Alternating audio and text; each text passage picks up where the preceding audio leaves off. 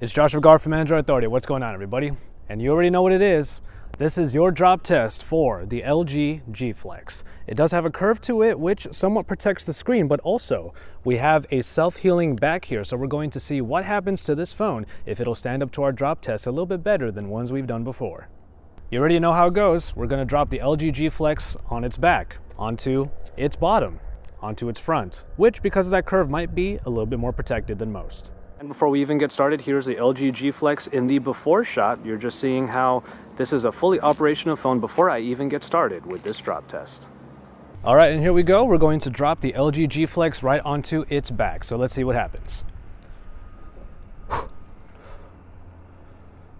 In three, two, one.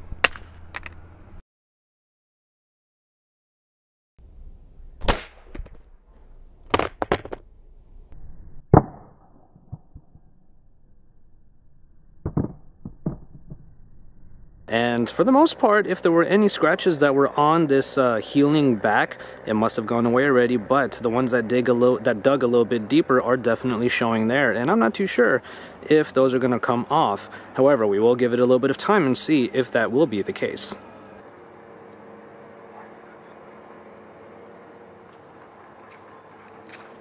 Got a nice nimble grip on there. All the cameras should be rolling right now.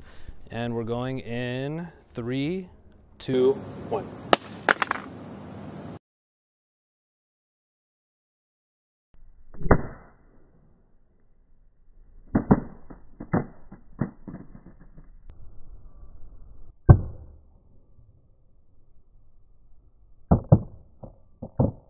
The phone bounced when it fell onto its bottom and I didn't know what to expect when I picked it up. However, as you can see here, there was a crack on the bottom. There was enough impact to create a fissure right here and we have a small number of very long cracks that go all the way to other sides of the phone, even reaching the top right corner in one case.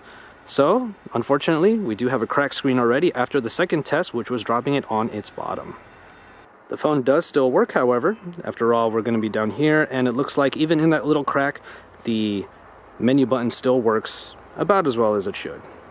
Here we go. We'll see how the curve right here makes the screen maybe hopefully a little bit protected, but obviously we already proved that wrong by cracking it here. But here we go with the final test. Making sure all my cameras are good. Getting a nice angle right here. And here we go. In three, two, one. Nice square hit there.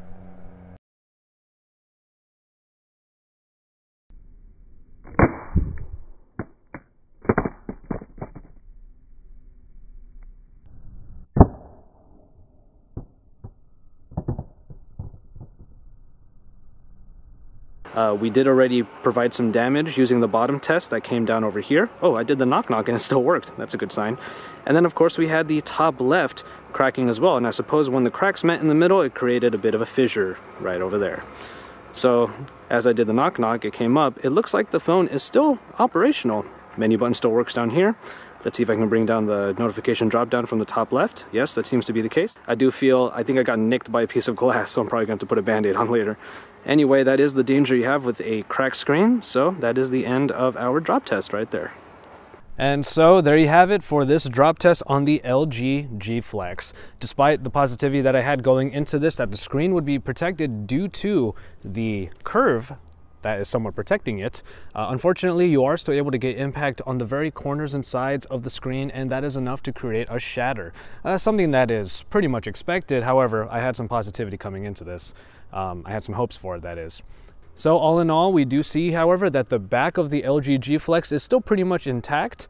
Um, I'm not too sure if the self-healing material has done its job, but I will say that there are some cracks on here that really dug into the material on the back, and those I'm pretty sure are not going to go away after a couple hours, which is what we're going to wait, is how long we're going to wait to see if those go away.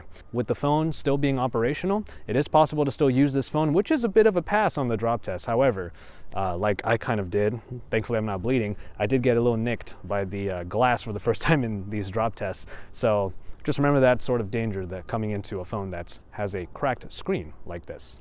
So as always, thank you very much for watching this drop test of the LG G Flex. Uh, don't forget to drop us likes on our videos, to subscribe to our channel if you haven't already, and to share our videos with anybody you like on social media. And you can follow us on social media, including myself, if you want to follow me from time to time using the links that are below that subscribe button down below.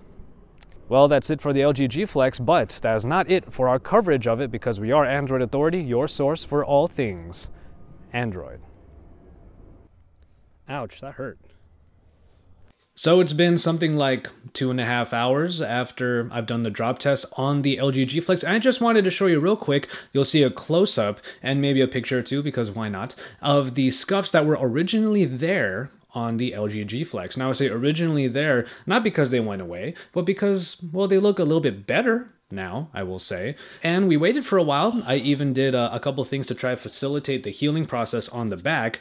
Uh, however, those scuffs are always going to be there. I knew that that was going to be the case because it really dug into the material and it's kind of like polishing a crater. You can't really do anything when the crater is there. So that is uh, what we're working with here. That was your drop test for the LG G Flex and ostensibly your self-healing back test as well.